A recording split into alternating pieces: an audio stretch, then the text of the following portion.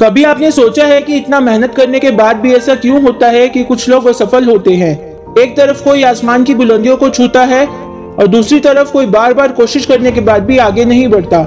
आज मैं आपको कुछ ऐसे पॉइंट्स बताऊँगा जो काफ़ी हद तक आपकी मदद करेंगे ये जानने में कि हम बार बार असफल क्यों होते हैं। सबसे पहले तो ये जान लें कि असफल होने का मतलब क्या है।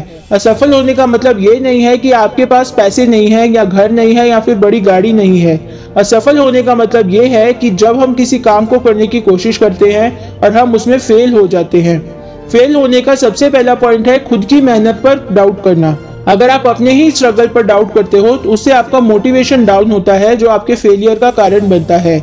अगला पॉइंट है एडवर्टाइजिंग योर गोल्स ये मैंने पहले भी अपनी वीडियोस में बताया है कि अपने लक्ष्य और अपने प्लान्स को कभी किसी के साथ शेयर ना करो। जो भी आप कर रहे हो, उसे चुपचाप करो। नंबर थ्री प्लानिंग की कमी होना। हमेशा कुछ भी करने से पहले एक प्लान उसके साथ एक बैकअप प्लान ज़रूर बनाकर चलो। नंबर फोर डिस्ट्रैक्शन जो काम आप करते हो उससे कभी डिस्ट्रैक्ट ना हो। डिस्ट्रैक्शन फेलियर्स के कारणों में से सबसे अहम है।